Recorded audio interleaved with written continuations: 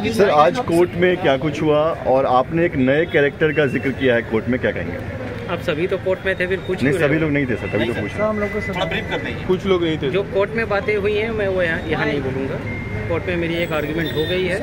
सामने वालों ने एक समय मांगा है एक दिन का परसों दोपहर में वापस से सुनेंगे सर अली कौन है और क्या रोल है उसका? नो कमेंट आपने बात कही थी कि मैंने कोर्ट में जो बोला है मैं वो यहाँ पे कुछ नहीं बोलने वाला हूँ thank you so much sir your arguments today. Uh, नहीं बात करेंगे What भाई। was the basis of uh, you know uh, concluding this argument? Uh, considering uh, there are several allegations. Also, there was a love jihad allegation and several others that you cited today. Uh, what formed the arguments today? If you can tell us a little. See, whatever I have argued before the court, it is, this is not a platform that I should disclose all those aspects. Whatever allegations they have leveled, whatever allegation they are leveling day by day, there is not even an iota of truth in it. It is studiedly false. They are merely aggravating and blowing the whole matter out of proportion. Shizan Muhammad is innocent. He has been innocently framed. Some media people or everybody were there in court. You people have already heard my argument.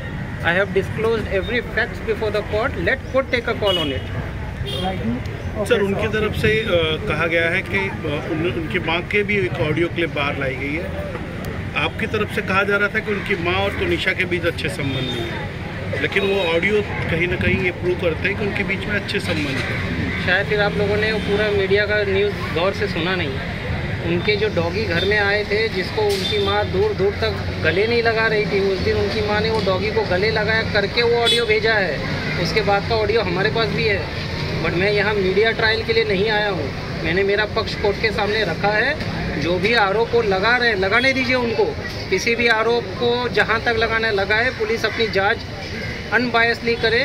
सच का सच, दूध का दूध, पानी का पानी होना तय है। शिजान मोहम्मद वापस से मैं रिपीट करता हूँ, बेगुनाह है। उसे इनोसेंटली इस मैटर में प्रूव होना है और उसको फंसाया गया है। सर, उनकी तरफ़ से एक और आरोप लगाया गया। उन्होंने कहा है कि तुनिशा जिस हालत में लाई गई थी आज की दलील से ये प्रूव होता है कि शेजान और तुनिशा के आखिरी क्षणों में कुछ बातचीत हुई है।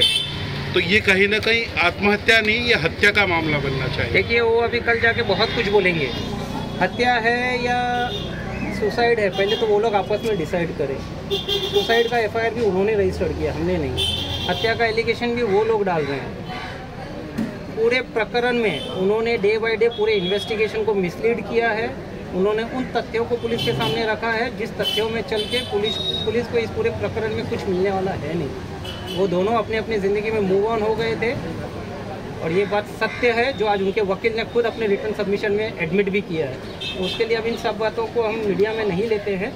क्योंकि कैसी भी है बच्ची का देहांत हो गया बिल्कुल। सर आप आज आपने सूरज पांचोली और कई हाई प्रोफ़ाइल केस का भी आपने हवाला दिया है कि उन केस के आधार को और इनको जो है जोड़ने की कोशिश की थी। क्या था ये पूरा मामला और किस तरीके से आपने अपनी दलील देखी क्योंकि मैंने कोर्ट के सामने जजमेंट रखे हैं। वो हमारा कोर्ट का मैटर है वो जजमेंट पे तो हम बात कर सकते हैं। आपको अगर आपका व्यक्तिगत कोई प्रश्न है पूछिए मैं उसका जवाब दे सर अली के बारे में कुछ बताइए अली अली कौन है?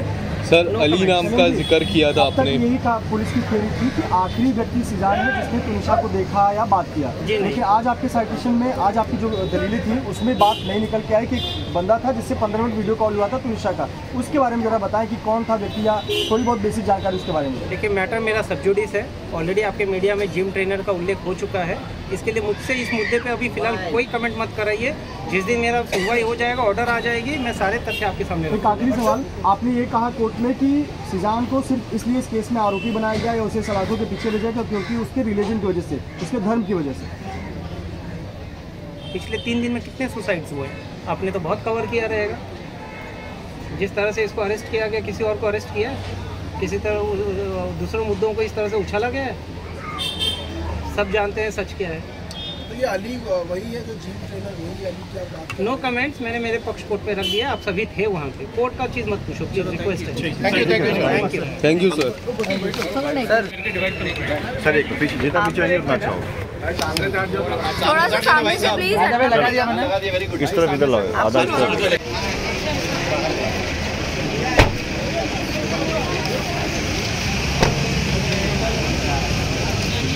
अरे दादा।